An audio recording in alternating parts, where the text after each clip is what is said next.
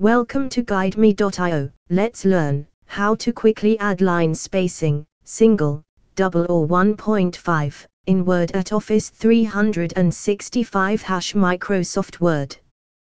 To play this tour in your browser download GuideMe.io plugin from GuideMe.io. You can also publish your own tours using GuideMe.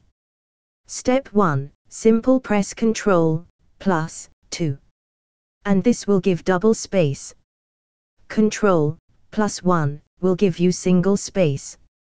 And Control, plus, 5 will give you 1.5 space. Try it right now.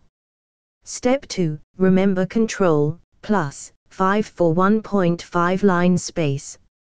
And Control, plus, 1 for single line, Control, plus, 2 for double line space. Give it a shot. Right now A. Thank you for watching Guide Me Tour. Visit guideme.io for more tours. Download Guide Me plugin and publish your own tours. Send your feedback at team at wagmob.com.